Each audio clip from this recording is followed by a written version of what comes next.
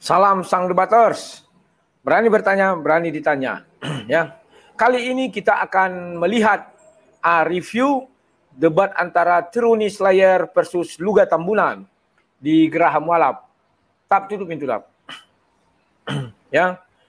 Kawan-kawan, ini kemarin terjadi debatnya kemarin tanggal 2 bulan 9-nya 2020, ya.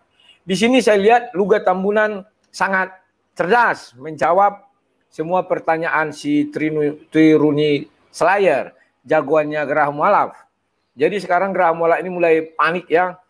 Semua jago-jagoannya menantang siapa pun dari Kristen babak belur sampai menantang uh, Chris, Christian Princess, Uti Watimena pun mereka babak belur. Saya tidak tahu apa yang mau mereka lakukan lagi. Kalau kalian lihat dari judul debatnya saja sudah tidak menguntungkan bagi Kristen. Masa judul debatnya menyingkap tauhid Islam dalam Bible? Urusannya apa? Tauhid yang di tauhid yang diimani oleh muslim Islam dicari ke dalam Bible. Urusannya apa? Di sinilah kalian lihat betapa cerdasnya Luga Tamunan.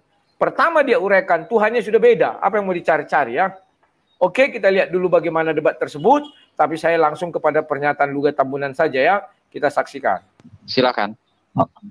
Oke, selamat malam. Terima kasih untuk waktu dan kesempatan yang telah diberikan kepada saya untuk menjelaskan tentang perihal Allah yang esa, ya Allah yang tauhid kalau kota orang Islam bilang. Sebenarnya untuk mengenal Tuhan ini tidak hanya cukup kita mengatakan esa esa esa esa, ya kan? Memang Allah itu esa, tidak ada satu uh, orang Kristen pun menyangkal bahwa Tuhan Allah itu tidak esa. Tetapi untuk mengenal Tuhannya Abraham, Ishak dan Yakub, kita harus mengenal secara detail. Ya, kita harus mengenal secara detail. Saya mengatakan bahwa Tuhannya Abraham dengan Tuhannya umat Muslim itu tidak ada hubungannya sama sekali sangat tidak ada hubungannya.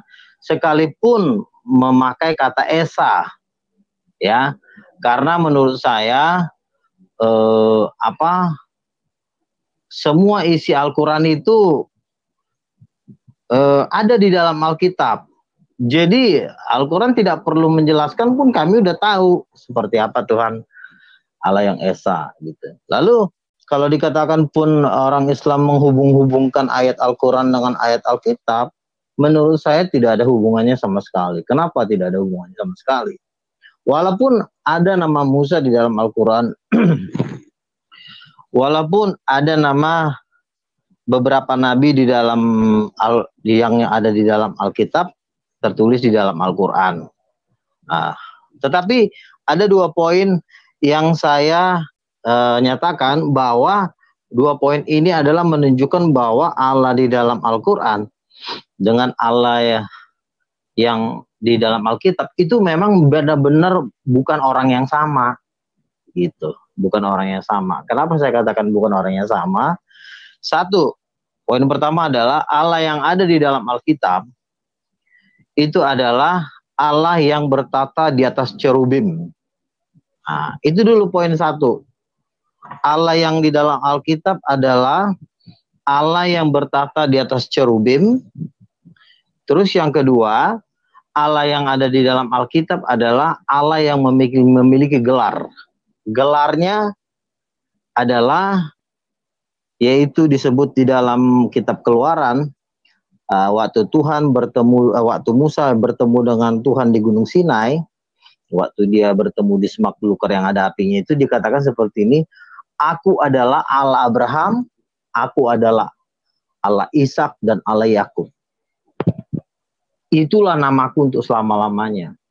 Jadi Allah Abraham, Allah Ishak dan Allah Yakub ini adalah gelarnya Tuhan. Jadi Tuhan memakai tiga nama tokoh ini untuk memberikan identitas tentang dirinya, yaitu Allah Abraham, Allah Ishak dan Allah Yakub. Yakub kan berubah namanya menjadi Israel. Jadi kalau di kalau dikatakan bahwa Allah yang ada di dalam Alkitab adalah Allah Abraham, Allah Allah Ishak dan Allah Israel, itu adalah identitasnya Tuhan yang disembah oleh Musa, yang ditemui Musa di Gunung Sinai. Gitu. Jadi dua poin ini sudah menunjukkan perbedaan bahwa Allah yang ada di dalam Al-Quran itu bukan Allah yang bertahta di atas cerubim. Apa itu cerubim? Cerubim ada di uh, Yehezkiel pasal 1 adalah malaikat yang memiliki wajahnya ada empat, sayapnya ada empat, tadi saya sudah kasih gambar tuh kepada si Gus Imron, tapi ternyata moderatornya bukan Gus Imron. Uh, mau saya tampilkan tadi gambarnya. Coba aja minta Allah yang bertahan. Apa? Coba aja minta dulu. Coba minta dulu aja ke moderatornya. Tadi Alvaro udah nyiapin kok. Kalau mau ditampilkan uh, gambar. Uh, uh, tolonglah minta ke Gus Imron masalahnya kan lagi live kayak gini kan nggak bisa untuk ngutak-atik lagi. Mm -mm uh, minta tolong sama si si Fakrudin kalau bisa telepon Gus Imron. Nah, jadi uh, Allah yang bertata di atas cerubim itu adalah ciri-ciri utama Allahnya bangsa Israel. Terus ciri yang kedua adalah gelarnya adalah Allah Abraham, Ishak dan Yakub. Ternyata gelar yang disembah oleh Tuhan umat Muslim gelarnya sudah berubah menjadi Subhanahu wa taala. Itu. Jadi gelarnya Tuhan umat muslim adalah Subhanahu wa taala, sementara gelarnya Tuhan yang disembah oleh Musa adalah Allah Israel. Allah Abraham, Allah Ishak dan Allah Yakub. Nah, jadi uh, di antara tiga nama ini kadang-kadang di, disebut di beberapa ayat di dalam Alkitab dia disebut dengan sebutan Allah Israel. Jadi Allah Israel itu adalah suatu gelarnya Tuhan. Bayangin Tuhan yang pencipta langit dan bumi memakai nama suatu bangsa untuk dirinya.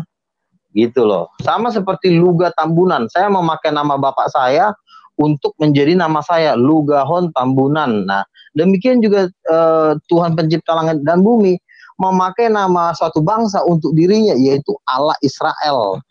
Jadi Allah Israel ini adalah suatu gelar yang menjadi gelarnya Tuhan untuk selama-lamanya. Gitu. Jadi kalau misalnya ada tiba-tiba suatu bangsa mengatakan bahwa dia menyembah Musa, eh apa, bahwa dia menabikan Musa, dia menabikan dia merasa kenal dengan Nabi Isa atau dia merasa kenal dengan para nabi, tetapi Tuhannya saya melihat Tuhan umat muslim tidak bertahta di atas cerubim, tidak bertahta di atas cerubim itu. Bahkan kalau saya tanya cerubim itu apa, semua ustadz dan saya tanya mereka nggak tahu ini apa sih luga. Kamu ada-ada aja deh. Nah, lebih gimana mau bisa bisa disamakan. Jadi kalau Anda mengatakan tauhid, ya tauhid itu juga Anda tahu dari Alkitab. Buktinya eh apa? Allah gelarnya Tuhan aja Anda salah. Anda rubah jadi subhanahu wa taala. Allah yang bertata di atas cerubim, cerubim aja pun Anda nggak tahu.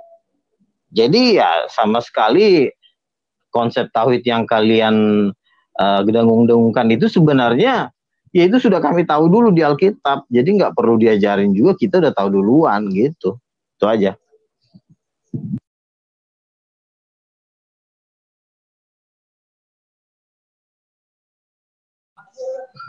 Jadi kawan-kawan lihat, inilah kalau pendebat senior. Dia menutup celah untuk orang-orang itu mengklaim bahwa Allah yang di dalam Bible itu adalah eh Tuhan yang dalam Bible adalah Tuhan mereka. Ditutup celah. Pertama dia bilang bertata di atas kerubim. Sementara Allah SWT bertata di atas ars. Ya. Yang di, di apa ditopang oleh 8 malaikat. kerubim 4. Setelah itu dia tutup lagi bahwa itu uh, gelarnya akulah Allah Abraham, Ishak dan Yakub. Tidak ada dibuat aku Allah Abraham, Ishak, Ismail dan Kedar atau apa enggak ada sehingga mereka tidak bisa masukkan. Dan dia bilang Yakub berubah nama jadi Israel. Aku adalah Allah Israel. Ini jawaban yang sangat cerdas kawan. ya. Sehingga kalau mereka berotak encer si turuni Slayer, dia nggak akan melanjutkan debat ini. Karena tuannya tidak sudah tidak sama. Artinya judul yang mereka buat untuk menjebak si Luga nggak masuk. Menyingkap tauhid Islam dalam Bible. Kenapa tauhidnya Islam disingkap di dalam Bible? Saya heran. Mereka lama-lama Tak percaya dengan kitab suci sendiri kawan.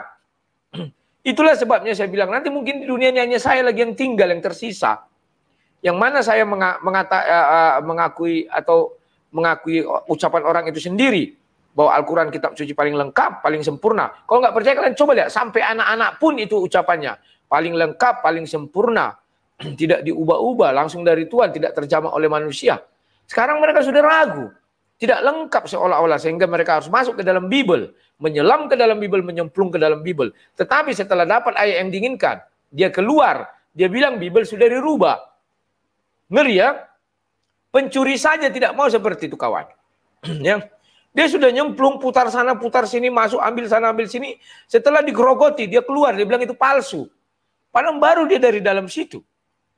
kan aneh. Di tempat yang palsu, apa palsu artinya apa? Sudah kafir, sudah hina, sudah menghina Tuhan.